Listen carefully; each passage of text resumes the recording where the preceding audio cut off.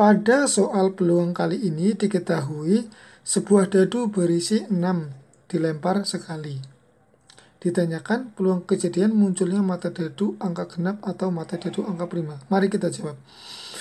Peluang rumusnya NA per NS. NA itu adalah semua kemungkinan yang hanya ditanyakan. Yang ditanyakan adalah mata dadu genap atau mata dadu angka prima. Berarti angkanya berapa aja?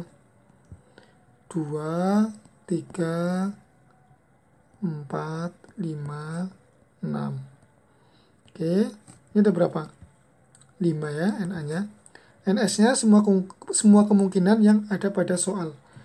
Nah, yang ada pada soal dadu bersisi 6. Berarti NS-nya berapa?